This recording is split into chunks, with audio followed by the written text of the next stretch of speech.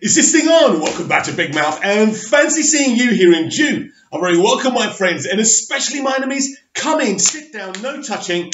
I don't do the touching. Hello and welcome back to Big Mouth, and you can keep this or any other conversation I ignite going over on my Twitter at Movies TV Mad, and I think my Instagram is Big Mouth 967 but I could be wrong because it's only new. Welcome to Thursday's edition of the DCEU Daily, an edition I wrote a special script for because today's a massive day for the release, the Snyder Cut um, movement. Zack Snyder's Justice League. It was, it is a very important day. It's the 14th of the 2nd. It's 214, 214 minutes. That is the reported length, according to Zack Snyder, of his um, version of the Justice League movie. But then Matt Reeves and Warner Brothers decided to change the narrative and they posted a video reveal, a video reveal of um, of Robert Pattinson's Batman costume from the Batman with Michael Giacchino's music over it. Now, obviously, I don't have editing software, so it's not going to be professional, but I've got it on my telly and let's enjoy this. I've seen this half a dozen times, but this, my friends, is off the scale.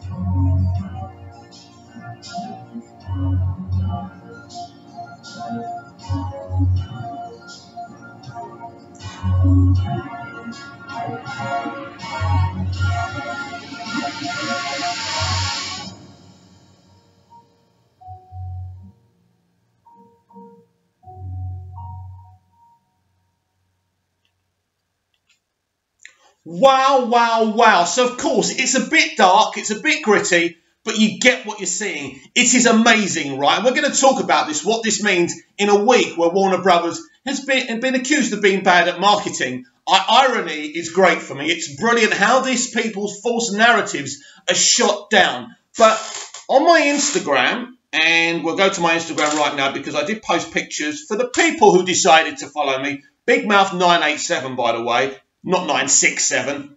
So here we have it. Where are we? So, so right. this is it. This is this is the pictures cleared up a bit. So there's Robert Pattinson in the costume. He looks freaking amazing, right? Amazing. You agree, right? Here's a close-up. Someone's black and whited it and made it clearer. That's what the Batman insignia looks like close up really liking it, really liking the Arkham games kind of um, feel and vibe to it as well.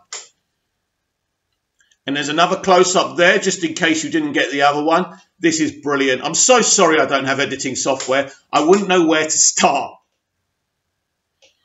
And here's a close look. Look at him. Look at that chin. It looks amazing. He was born to play the Batman.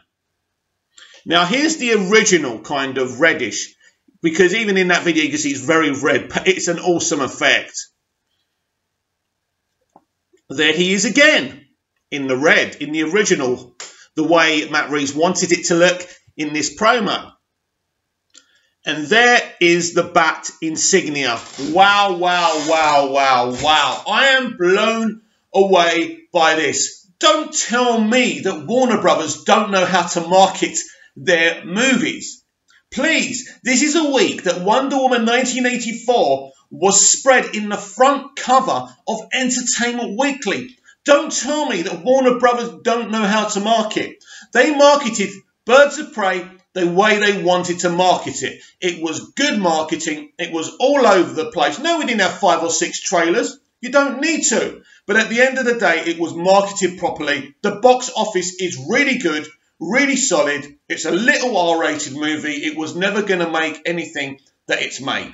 This time next week, it will be on about 200 million globally. That's double its budget. So get over it. Warner Brothers do know how to market, and it's amazing. But of course, of course, a lot of people are really upset because a lot of people from the release the Snyder Cut, the Zack Snyder community, blame Matt Reeves for removing Ben Affleck as the Batman. That look, um, I don't know what happened. I know that um, Ben Affleck at the time when he did leave the picture was suffering with alcoholism and depression, and he had marital problems as well. Now, we know that Ben Affleck originally stepped down from directing the picture and he was actually still going to be in it. And it looks like it was a slow process. I think that was the time when Walter Hamada was there. Listen, um, do I think that Ben Affleck on his own decided to step down from this project? No. We do remember that Matt Reeves walked away from negotiations from Warner Brothers because he wasn't happy about something, but then he came back. I'm assuming initially Matt didn't want Ben Affleck to play the Batman. It wasn't him. It wasn't what he wanted. He wanted to come in with something totally different and totally new, and they allowed him to cast a new person. Now, if you want to go and attack the man for that, that's up to you. But for me, Matt Reeves is a funny, talented director, and I'm really, really excited for this take. Isn't it amazing what Warner Brothers can do when they focus their minds on it? The marketing for these films, of course, is no accident. This kind of makes everyone forget the negativity for Birds of Prey, but the negativity for Birds of Prey is a false narrative anyway. This is just Warner Brothers biting back.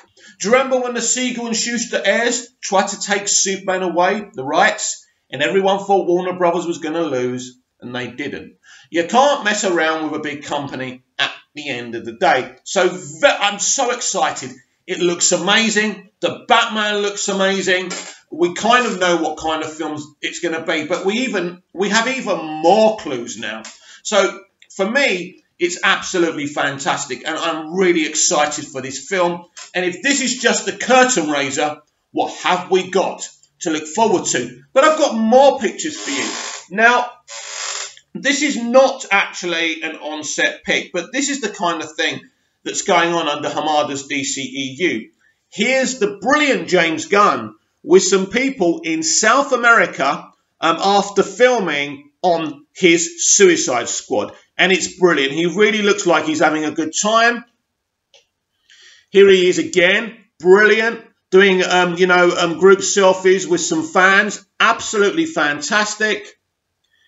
And here's James again. Now, this is interesting because he's wearing. Is it a Batman? Is it a Batman top? It looks. It might not be a Batman top. Actually, I could be wrong. Because I was going to start saying, what if Batman is actually in the Suicide Squad? In the year that we actually see the Batman. That's right. The Batman and the Suicide Squad are both released next year. This is this is Hamada's real real vision of the DCEU. And as I was explaining yesterday, if we we can get excited about what they're doing with the DCEU, and we should, but let we haven't. You know, yesterday we were talking about what Todd Phillips is planning for his Black Label movies and the potential in that.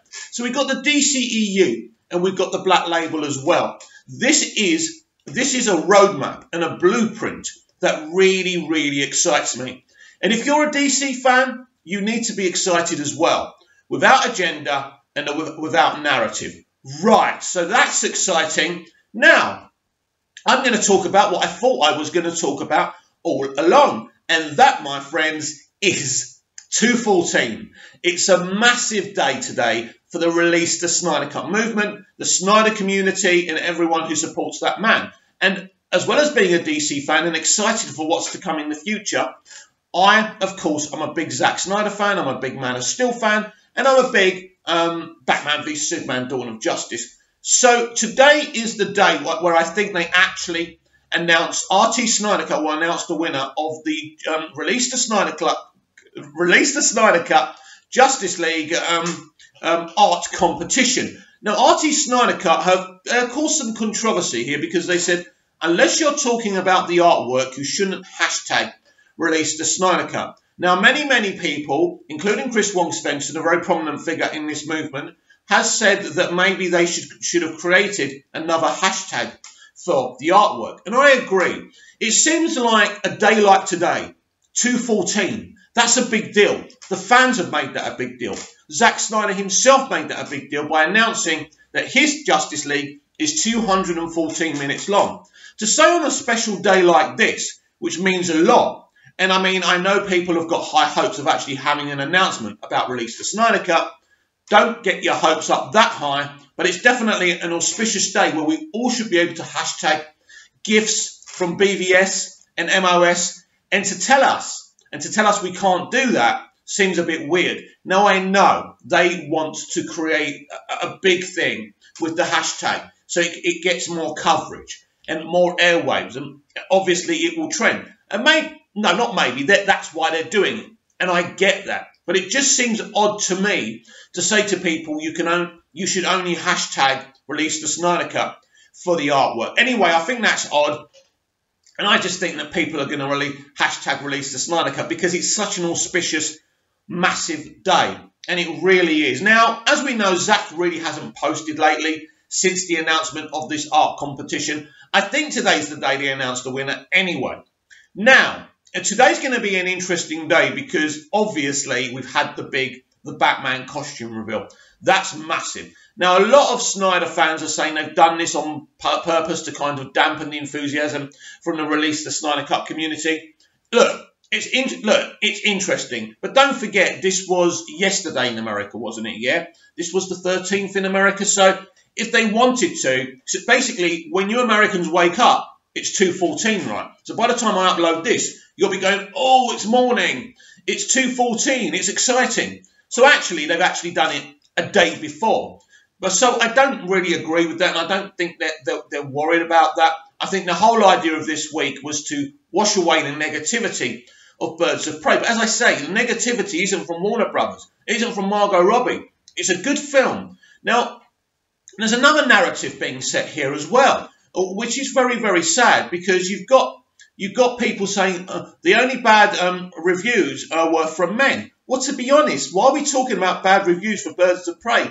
The, the high percentage of people talking about that film and reviewing that film, fans and professional critics, were very positive. You know, we're talking at the stakes of 70, 80%. So to talk about negative reviews, again, we're trying to politically weaponize entertainment. And I'm sick to death of it. And now there's another narrative. There's a high percentage that the Sonic the Hedgehog movie will be number one at the box office, right? We'll make loads of money. We'll make more money than Birds of Prey.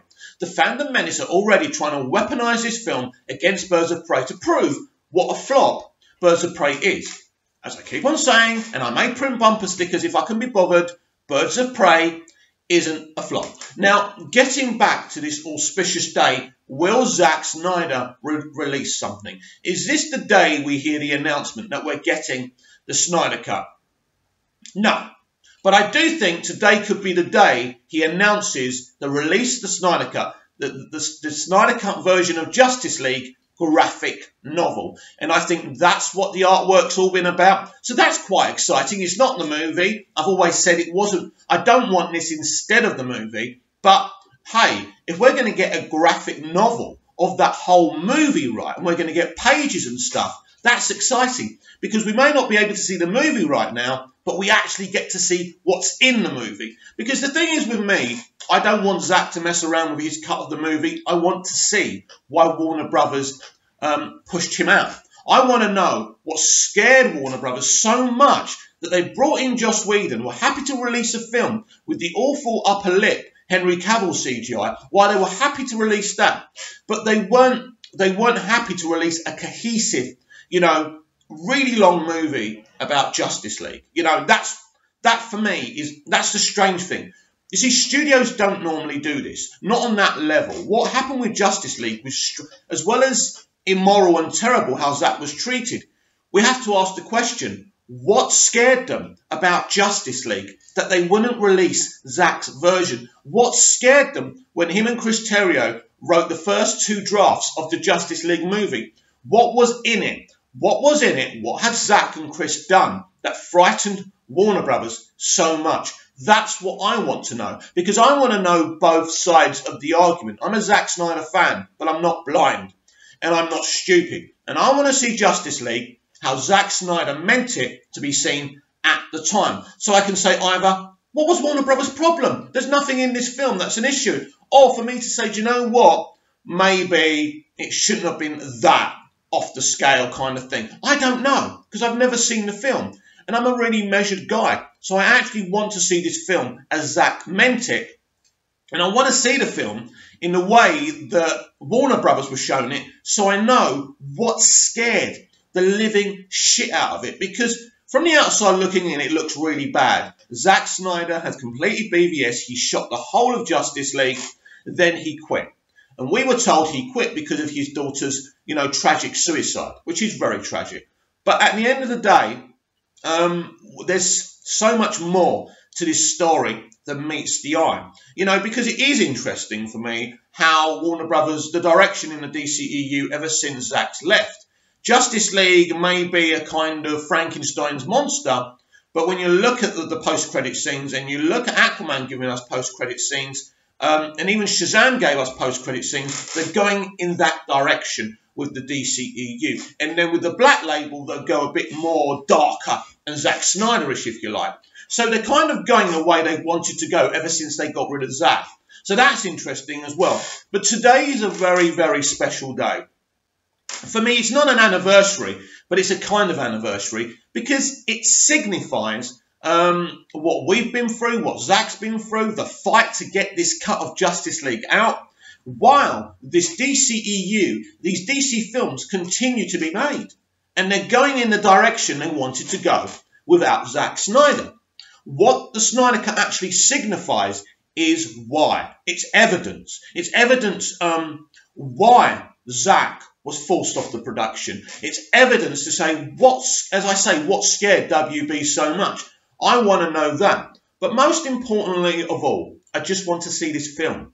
And I think that's important. And I think, as I said yesterday, we keep on patting ourselves on the back. We have donated thousands and thousands of um, dollars, pounds, or ruples, or whatever, right, um, to, you know, um, suicide prevention, which is very, very important, especially on a day like today, which is Valentine's Day, where a lot of people are happy and they're in their relationships, but there's also a lot of people who are, who are depressed, are anxious, um, attempted suicides, um, successful suicides. So Valentine's Day is a bit of a mixture. People don't think about Valentine's Day in those terms, but I know the full picture. Um, so a lot of us have got, you know, there's a lot to focus on. So don't focus on anything that makes you feel down. Focus on something that excites you, like the Snyder Cut, like this Batman reveal. The Batman reveal of the costume is awesome. But as I say, what I'm going to do today is hashtag release the Snyder Cut is release all the art, uh, re, sorry, retweet all the artwork, retweet other people hashtagging release the Snyder Cut with their gifts. It's an exciting day. This is a release the Snyder Cut day. Today is 214 and it's absolutely massive. Now, on tomorrow's DCEU Daily, I'm hoping to react to Zack posting some stuff on Vero and we will see. So I want you to have a wonderful day. I really do because this, my friends, is wonderful. 214, the reveal of the Batman, and there's no need for us to be angry at Matt Reeves for what he's doing or what DC, what they're doing with the future of these films. It's just about us enjoying the content and fighting for the Snyder Cut and the Ayer Cut to be released. Yes, I'm back. That surprised you, didn't it? So I want you to comment down below, like, share and subscribe, share the video and share the channel. And I'm going to leave you with that reveal of the Batman because it's glorious, especially Michael Giacchino's music. Aren't we lucky to have him? See you again tomorrow.